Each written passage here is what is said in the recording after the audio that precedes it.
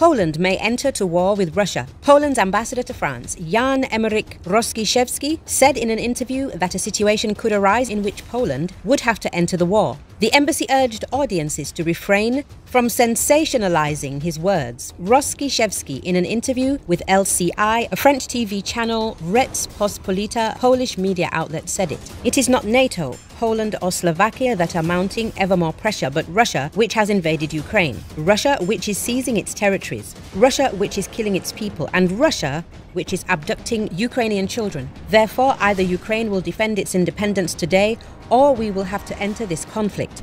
Because our main values, which were the basis of our civilization and our culture, will be threatened. Therefore, we will have no choice but to enter the conflict, Rościszewski told. Following the ambassador's remark, Poland's embassy in France issued a statement saying that it has been interpreted by some media out of context. During a 30 minute conversation with the editor, Ambassador Rościszewski argued for the need for allies to support Ukraine. He also spoke about the threat that Russia poses to Europe and European values. A careful listening to the entire conversation makes it clear that there was no announcement of Poland's direct involvement in the conflict, only a warning of the consequences that a Ukrainian defeat could have have the possibility of a Russian attack or the involvement of more Central European countries, the Baltic states and Poland, Poland's embassy in France said. The embassy stressed that Ambassador Rościszewski made it clear in his interview that Poland is not currently at war, but is doing everything it can to help Ukraine and protect itself in Russia's war against Ukraine,